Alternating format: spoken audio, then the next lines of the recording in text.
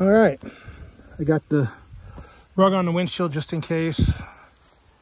I'm slinging a rock or something, I won't break it, hopefully. I got it out that far.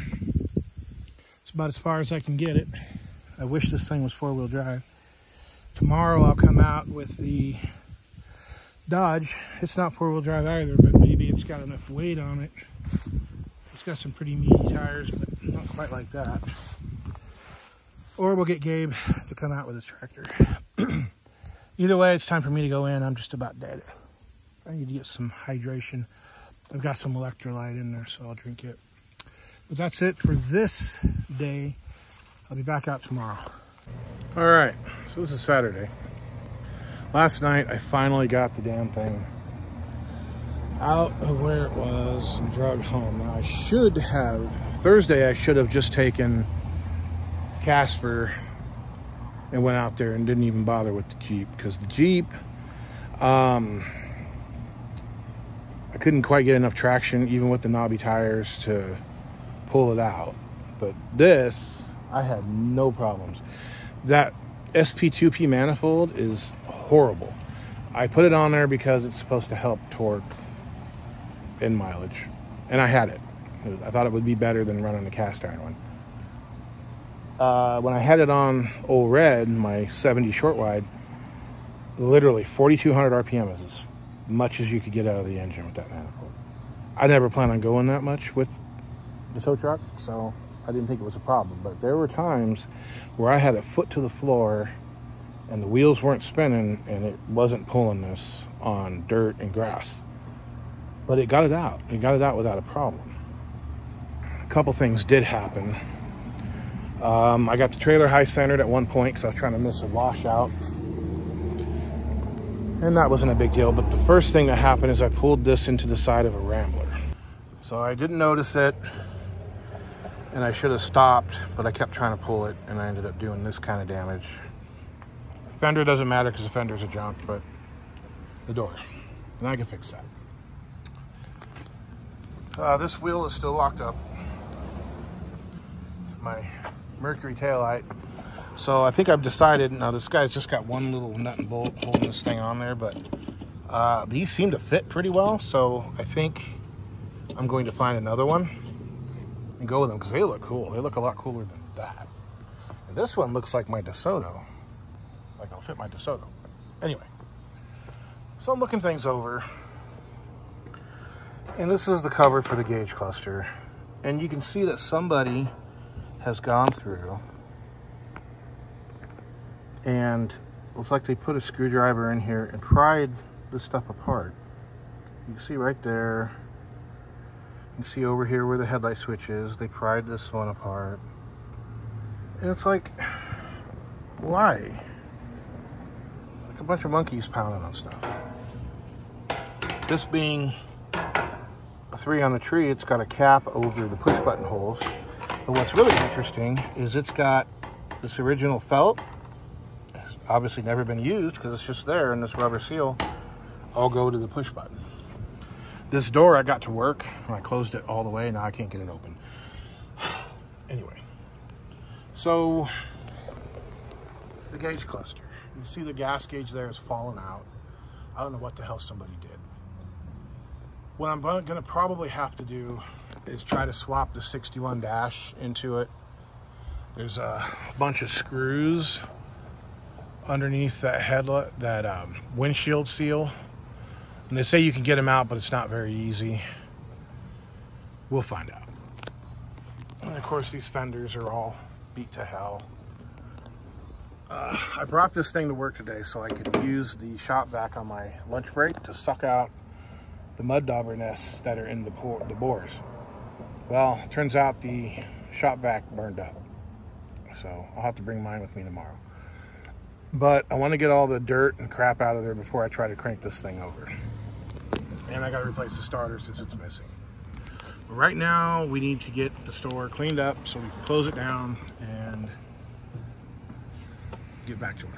So that's it for tonight. Okay, so real quick here on my lunch break. Got my shop vac. These are all full of mud dauber nests. I don't know if you can see them. Yeah, there you go. You can see in there, mud dauber. Seems like it's more of the intake ports they have the mud daubers on them. Oh, that's an exhaust port with a mud dauber nest. Intake port. So, I've already sucked them out. I'm going to go in with a screwdriver and have the vacuum run and, and just kind of, um, you know, poke it out around the vacuum hose and see if I can't keep as much as possible from going in the cylinders. That's my goal right now. So, here we go. Okay, lunch break. This is Monday, my Friday. We are going to see if this will turn over. So I got no ports in there. I've got no spark plugs in there. Hopefully it doesn't go spraying everything out of there.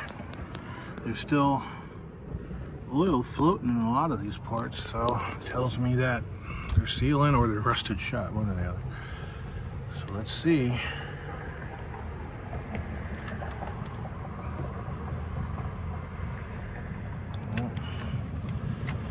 Not getting anything.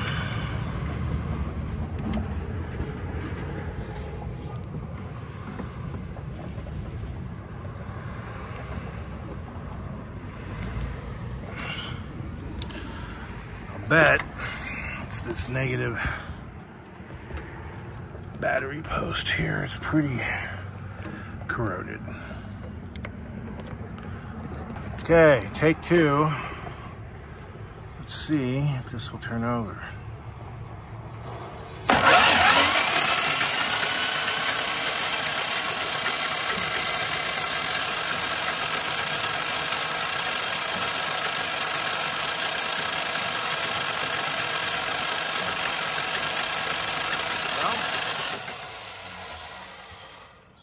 working pretty good to me.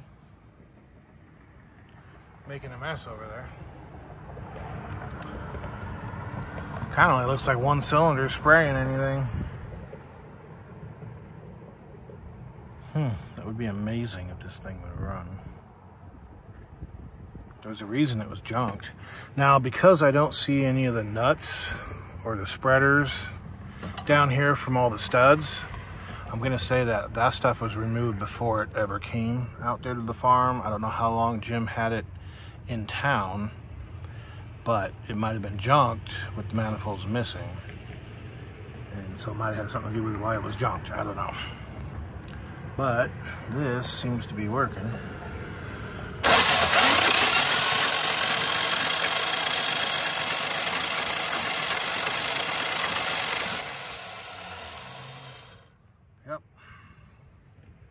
We're gold. Radiator fins don't look great to me. I don't know.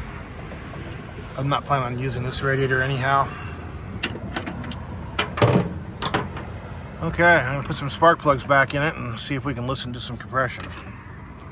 Okay, we're gonna fire this thing off and see if it will stay running, see if the transmission will shift. I need to get some water in this thing. And I've got just kind of a siphon gravity feed fuel system here. I don't really like doing that, but my little tank I had got a crack in it, so I'm not sure if it's actually getting any fuel into it, but we will find out here in a moment. I'm gonna go grab the water and we'll get started. So Tuesday, I went on a little cruise, found some items on my uh, marketplace. These are out of a Winnebago uh, B300 Class C RV. Uh, the seams are split here. The other side's in better shape, although something looks like it was dripped onto it. Other than that, I like the pattern. I like the shape. Funky, perfect for the 62. Picked up a new intake for the Wrecker. The um, SP2P that's on there is so restrictive. I mean, literally, with my old red truck, I could have it in first, second gear and 4,200 RPM as far as it would go because it would not flow anymore. This one is supposed to be a step better than a Performer power-wise. Drivability wise, it's still supposed to be decent. Ports are a little bigger, but it should be okay. That is a manifold set for the 62 to see if it'll run. But we're gonna get the 61 fired off right now and check the training. Oh, and the guy was cool enough, he gave me the door panels from the RV so I'd have extra material to patch that with, which I don't know if I'd need or not. But if there's enough there and I could find something else like it, I'm gonna do the door panels on the 62 that way. Anyway, okay, fuel system's primed. Gonna hook up the power. And her up. Oh yeah. This is what I did.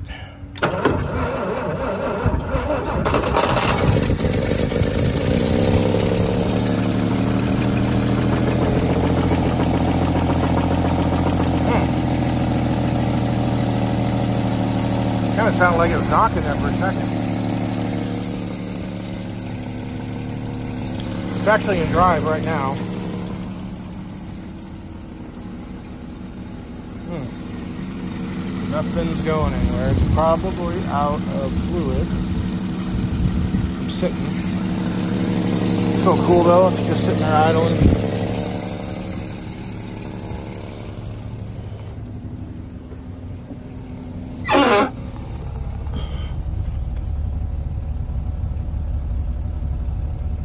The amp meter's working. I don't have a headlight switch to pull. I do have a wiper switch though. Okay. No, we're in neutral. Oh. So remember that drum over there is, uh, this one doesn't turn. That one over there does.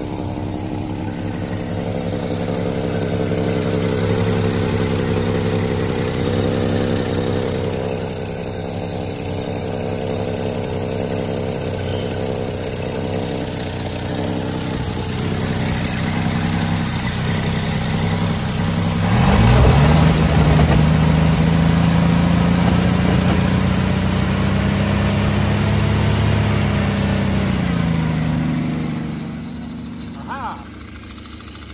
Good, exactly what I wanted to happen. I got the drum off.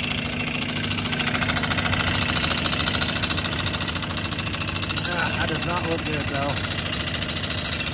Still usable. Kinda.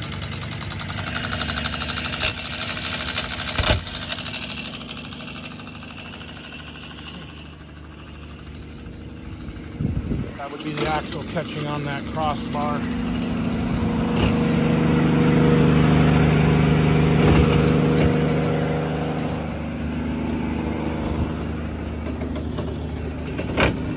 See this one? Not going. Hey, speedometer works. Roughly 30. Battery's charging. I don't know about the temperature gauge.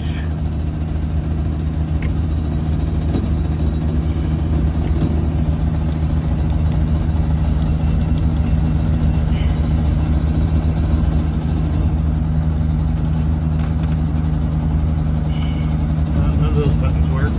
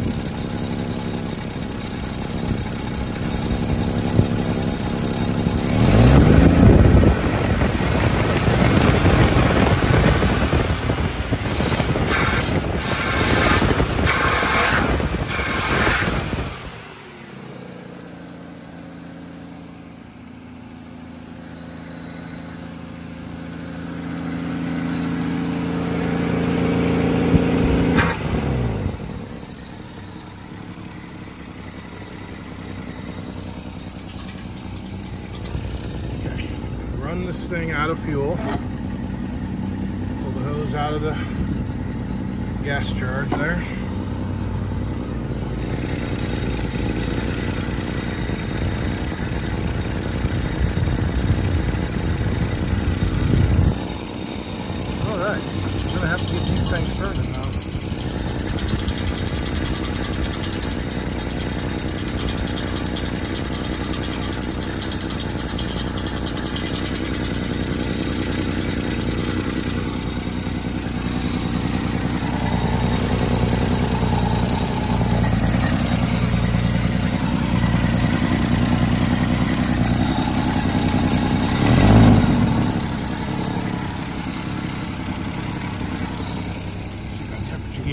I probably have to have the key turned.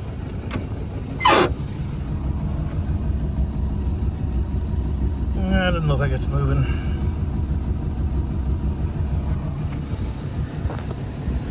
Get all that out of there.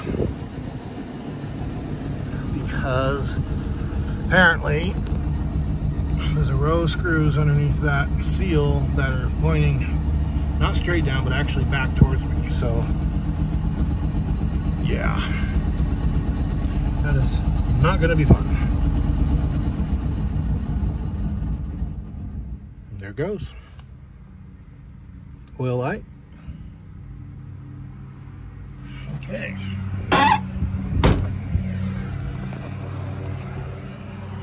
So that's it for that.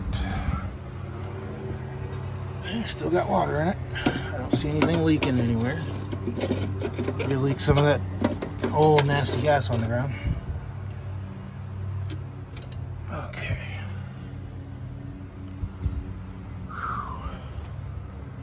Okay, so right now I need to pull that door panel off so I can get that wing window window track because that one is bent to hell the window won't go up and if you try you probably break it so need to get that well I got that wing window out was definitely not a fun job. The rubber's in really good shape. It's very pliable. I had to roll it back into its little channel. This rubber I don't think is as nice, but it's still pretty pliable. No cracks anywhere. Both of them have overspray on it. This one does too on the other side. But you can see there's some damage here. I'm not sure why. This does not have locking wing windows like this one does. Interesting. But you'll notice too that this chrome is in really bad shape. It's very, very rough. And this is actually in pretty good shape. So I'm gonna try to change all that. Yeah, see even that screw up there is green and rough. This one's rusty. The screw is anyway. I think the rest of it might polish out. Maybe, I don't know. But I need to get this out and then straighten this out, whatever's bent.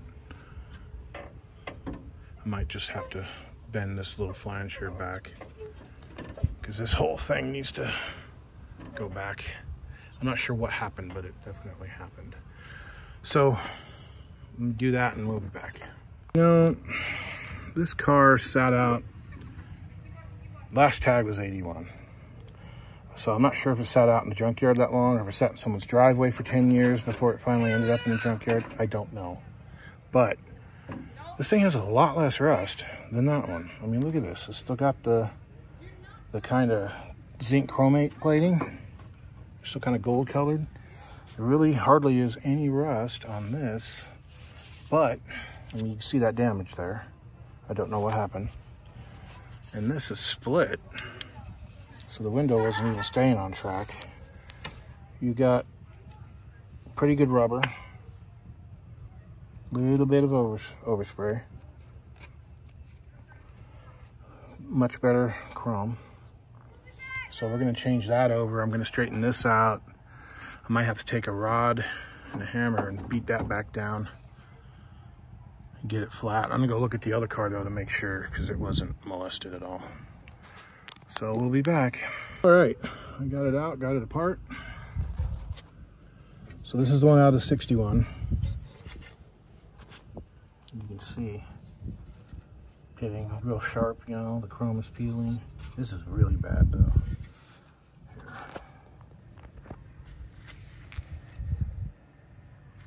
see peeling around there.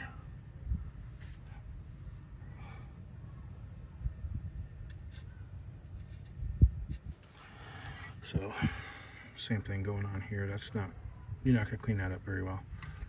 So, I'm gonna save it just in case this one gets broke.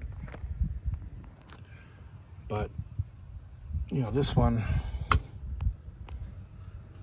you can see it was in a lot better shape. A little crazing, but most of it will polish out. And we don't have a lock, but that's all right. And hey, at least it'll match that side. So I'm gonna go ahead and hit this, straighten it out a bit, and then I'll put the window all back together.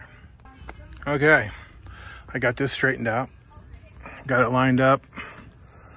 I'm not sure if it's supposed to kick up like that, but it looks fine to me. It almost seems like it has a bow to it, but it lines up with the outside just fine. So, eh, who cares? I was thinking about painting them, but I think I'm just gonna leave them. I'm gonna leave the patina, but I'm gonna make panels that are nice. And check this out. Dirty. Let's see, it goes right up. Stay, stay. It goes right up the window tracks. Rolls down real easy. It doesn't roll down when you push on it. See, we got a little chip right there. I didn't want that to turn into a shatter, so that's it for me tonight. I'm going in.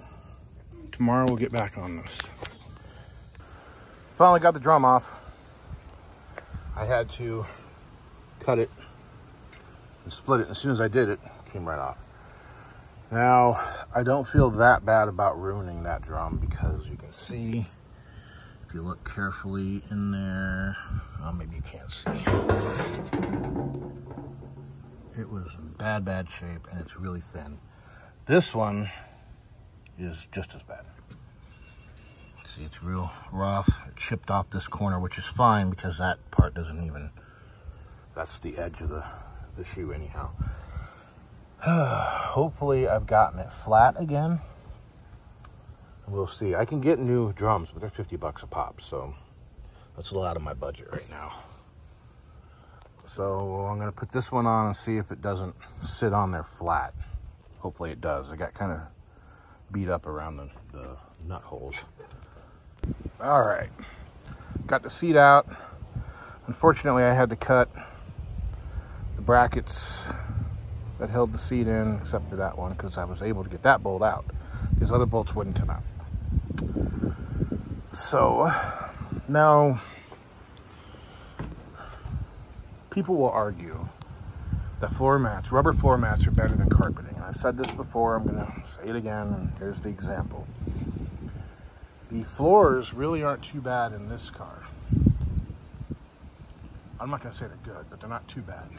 The floors in the Savoy over there, which leaks like a sieve because the cowl's rotten, still has floorboards in it. it. The floorboard behind the driver's seat's gone, about that bad, but it had carpet in it. This car had rubber floor mats. And as you can see, I've just barely started cutting. That's all rot. What happens, the carpet soaks up water like a sponge. And the horsehair sound deadener, carpet padding. But the difference was with carpet, it breathes and the water will eventually evaporate and dry out. Rubber floor mats, that stuff stays wet forever, ever and ever. And it does this. So while this car has no, the frame rails are completely gone in the bottom, this one, they're all solid. Some of these flanges here where I'm gonna weld the new floorboard to are kind of thin, which isn't great. For instance, here's a good, a good point. This car, the doors open and close just fine. The only thing holding it together really is this rocker. And the rocker's solid. Just the floorboard part, like this part you can't really hardly see, is galvanized. And it's not rusty at all, it's just the floorboard part. This car, on the other hand, I noticed yesterday, every time I opened that door over there, it got harder and harder to open. And now I don't even think it'll close.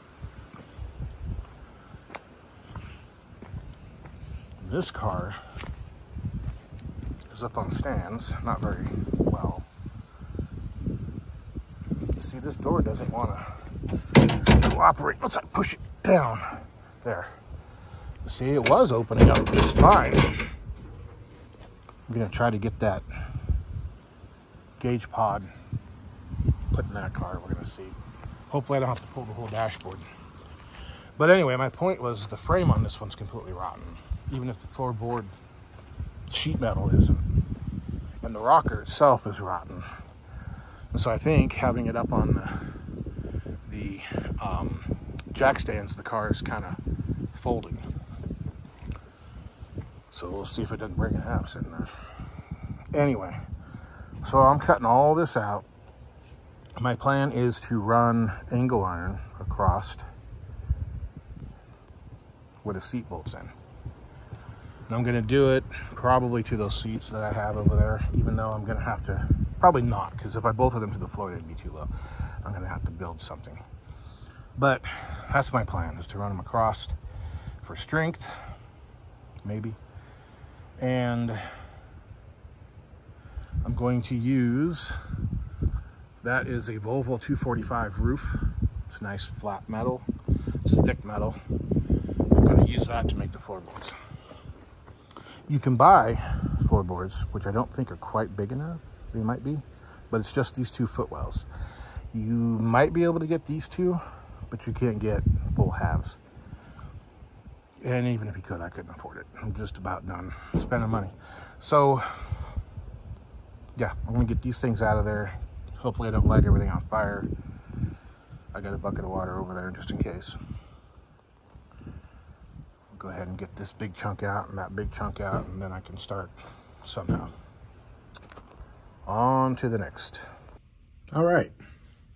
So that's as far as I got. Chop the floor out here, here. Um, I still gotta cut it out there and get all the thin pieces off of the flanges and such. Uh, I'm to stop right there for now. I need to get the vacuum in here and suck out all this rat poop. Last night I couldn't sleep, so I came out here on a wild hair. And I started messing with the dash. And I was able to get the, the gauge pod out. This, this is a speedometer cluster, gauge cluster for a 65, 64, 63 dart. Maybe 63, I'm not sure. Anyway, it's for one of those. I was just gonna kind of curious to see if it could be used inside this, and no, it can't. It's too long. Um, but they're in here. So, on the next video, I'll detail some of that. I like my seat. But that's it for this video. Um, I've already got a couple things filmed for the next video. I just didn't want to leave you guys hanging without anything to watch. So, enjoy.